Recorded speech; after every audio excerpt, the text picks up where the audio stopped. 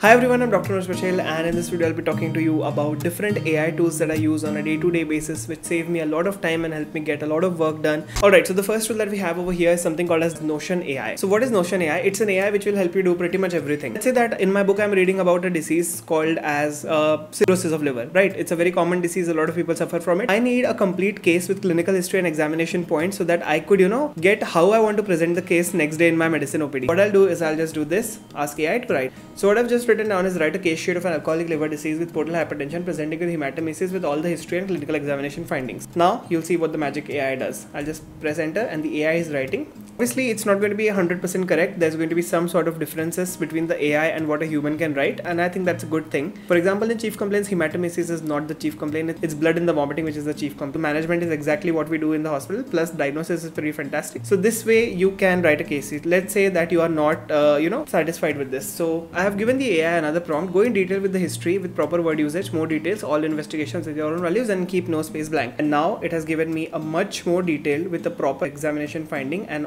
also a very nice report. According to the AST and ALT levels, I don't think Anuj has a very good prognosis over here. But overall, I would say this is the way that you can use AI to write a case sheet. So this was a case sheet of alcoholic liver disease with portal hypertension. I'll show you another example of few case sheets which I have made myself. So this is the case sheet for Charcot-Marie tooth disease, experiencing difficulty in walking and frequently tripping. Exactly. Next, we have Refsum's disease. So this is a disease we read in biochemistry and this is phytanic acid metabolism.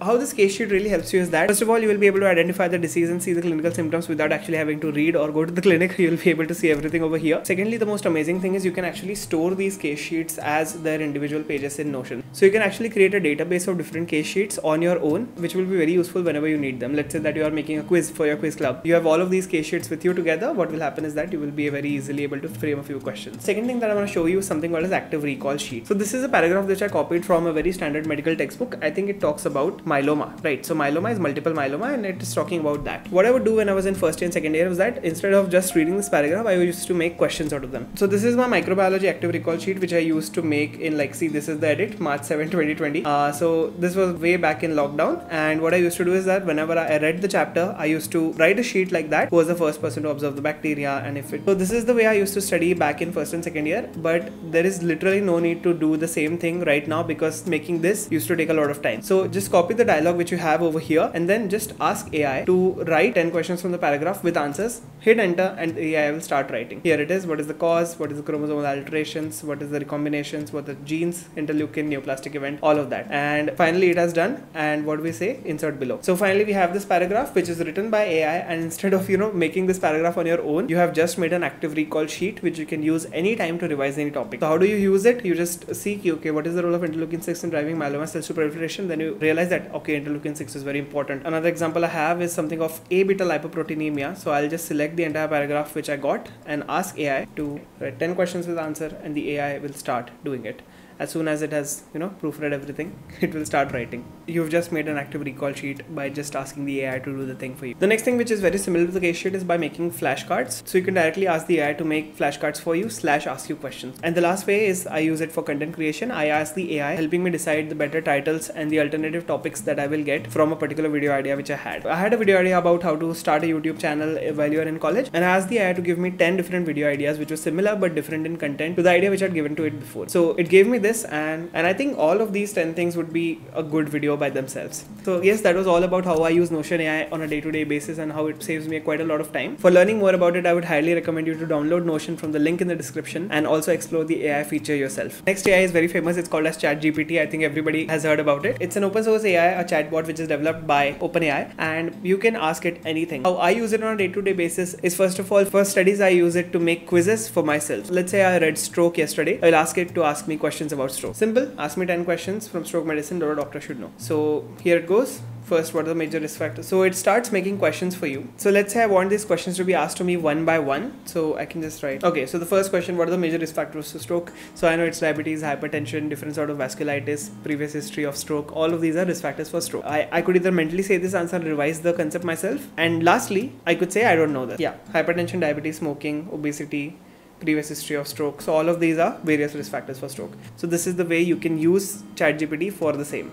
Here's the second question. What is the role of anticoagulant therapy in prevention and management of stroke in patients with atrial fibrillation? So I've just written down the answer myself and ChatGPT has provided me a rating as well. Your answer is 9 out of 10, which is pretty good according to me. And it also provides you with more detailed information on whatever you wanted to ask. The next question which it asked was pretty cool. It was something called as CHA2DS2-VASc score, which is very useful in stroke medicine. And we use it to predict whether the atrial fibrillation will cause a stroke or not. And uh, I was unable to answer that question in much detail. So what it did was it rated that it, it was incorrect and it actually gave me the actual score, which helped me revise the topic which I had left. You can ask it for providing a more detailed answer and it will do that as well. So here it is providing me the exact score and how to calculate it. So yes, this is a very amazing way to use ChatGPT for your own good as a medical student. Of course, whenever it comes to using these AIs for your studies, don't believe 100% everything what they are saying. Use your own brain as well. If you think that they are something saying something overtly incorrect, uh, just check up Google or just check up your textbook and see whether they are stating the correct facts to you or not. The second way in which I use ChatGPT on a daily basis is by asking it to improve few parts of my YouTube script to generate a few ideas for my channel based on one simple idea. So let's say that I've written down a script. So let's say that this is the script which I've written down. I just copied it, the entire script, and I just asked it to write me, write a video summary of the script, and that's exactly what it's doing.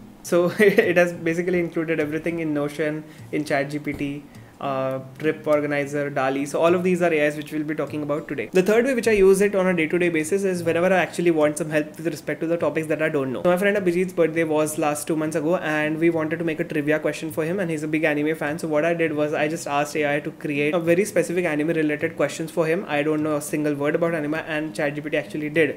And the prompt which i gave to chatgpt was give me 10 questions from naruto which no mortal dare answer. And he gave me the hardest question. Even abhijit was not able to answer a lot of whenever I need some sort of help with a task, AI will help me do it. The only thing is that your prompt should be extremely specific and only then will you get good responses. Moving on to the next section, this AI has been there before ChatGPT, before every other AI that we are talking about right now, and that is called as Anki. And this is a flashcard app which I've already talked about before on my channel. What exactly is a flashcard? So let's say that this is a card which says that indication of getting USG kidney in a case of BPH. So this is the question and the answer will be present in here eh, behind so you'll you'll first have to actually recall the answer so okay i'll be like हाँ अगर creatinine rise है तो हम USG करेंगे and here the answer says okay creatinine बढ़ा है तब हम करेंगे so this is a flashcard I just described to you an offline method of using a flashcard but Anki is a much better digital way of using flashcards because it combines something called as spaced repetition so the algorithm of Anki knows that okay maybe you took a lot of time on this card so I'll show you this card again much more frequently than I do with the other cards so that you will be in touch with this card and not forget I used Anki a lot in my second year of MBBS and that was one of the reasons I was able to get distinctions questions in all the subjects of second year and pass with flying colors. Wow. so, sahi samay tha second year boy. So this is how it works. Uh, you import a deck which is usually pre-made. I'll mention a few videos which will help you get started with Anki, but once you get started, just import a deck. It just gives you something like this. What happens to testes and Fournier's gangrene? So absolutely nothing happens to testes. They are absolutely normal. So this was one of the questions. The decks which are present are pre-made by amazing people all over the internet and you can use them absolutely for free of cost. So this is how Anki works and per day you can do like 100 to 200 cards and if you maintain a proper streak, you'll be able to remember a lot of things in your head. It's definitely complicated to get started with, but once you do, it becomes easier. I've listed so many links in the description which will help you get started with Anki, so please make sure to go check them out. The next AI which will really help you a lot is something called as tripplanner.ai. So here you can just plan a trip to anywhere and it will give you exact a day wise, time wise itinerary of what you have to do, the different places you have to visit and how will you visit them. So let's plan a new trip destination. So what destination do you want? Goa. So let's say let's plan a trip to Goa and uh, number of days let's say three days. So this is how it works. It has given me a good map of goa with uh, which i can explore myself. Let's see what it says. Day one arrive in goa 10 a.m very good. Lunch at fisherman's wharf. So you can do that. Fort aguada. Very good. Anjuna great. Uh, dinner at gunpowder. Kafi mehanga restaurant hai, and nightlife at tito's lane which is what we did exactly. Next you reach to day two. Bom jesus mein jao. Breakfast lunch mom's kitchen club. Day three mein it has got baga beach which i went to. Chapora fort cafe real. So it has got a lot of things. So basically basically it helps you plan out this trip. I planned out a few trips using this AI. So Paris May, what I did was it gave me an exact uh, itinerary. So 10 baje Eiffel Tower 10 a.m. go to the Eiffel Tower, which is one of the best times to visit the Eiffel Tower actually.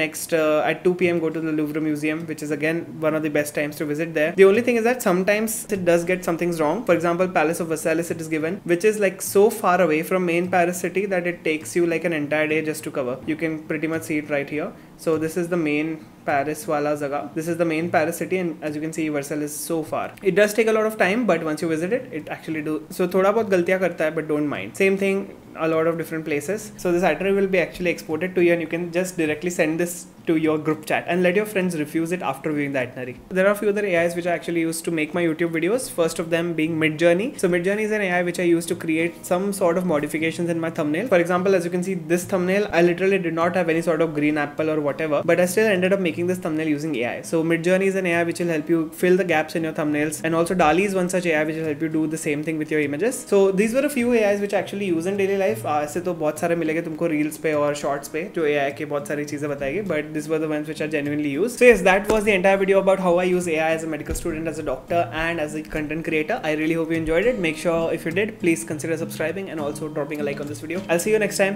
goodbye take care bye